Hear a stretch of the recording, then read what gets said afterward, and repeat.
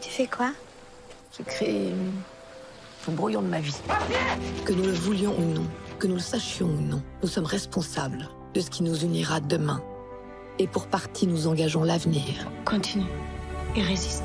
Nous voulons mettre fin à l'avortement clandestin. Troisième directeur de prison qui m'appelle pour se plaindre en moins de 10 jours. Les femmes.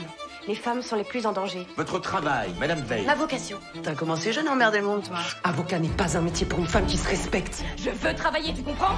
Une vie de combat intime et politique. Est-ce qu'on peut dire qu'on n'a pas le droit d'entrer dans les camps? Est-ce qu'on va vraiment entendre ça encore? Elsa Zilberstein, Rebecca Marder.